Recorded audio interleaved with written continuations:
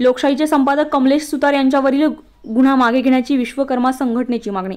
लोकशाही चॅनेलचे संपादक कमलेश सुतार यांच्यावर दाखल केलेला गुन्हा तात्काळ मागे घ्यावा अशी मागणी विश्वकर्मा संघटनेतर्फे करण्यात आली आहे.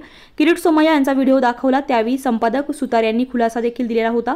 तसेच कायद्याच्या चौकटीत राहून व्हिडिओ प्रसारित करत असल्याचं स्पष्ट केलं होतं मात्र तरीही कोणतीही चौकशी न करता त्यांच्यावर गुन्हा दाखल करण्यात आलाय.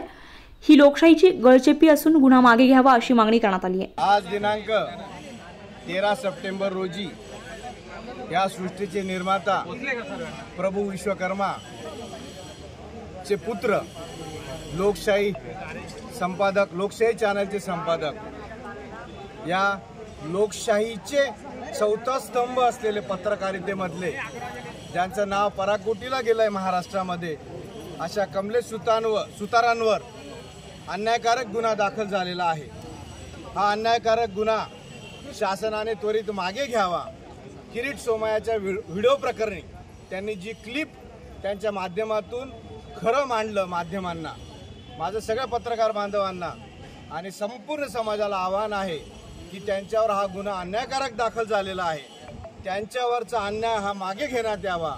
मी आपल्या माध्यमातून माननीय मुख्यमंत्री एकनाथजी शिंदे उपमुख्यमंत्री देवेंद्रजी फडणवीस आणि डॅशिंग उपमुख्यमंत्री अजितदादा यांना विनम्र आवाहन करतो विनंती करतो या समाजाच्या माध्यमातून की आम्ही आज या विश्वकर्मी संस्थामार्फत आपल्याला विनम्र आवाहन करून एकच सांगू इच्छितो की या लोकशाहीचा गळा दाबू देऊ नका त्याच्यावरचा अन्याय होऊ देऊ नका कृपया गुन्हा मागे घ्यावा आणि आम्हाला न्याय मिळवून द्यावं.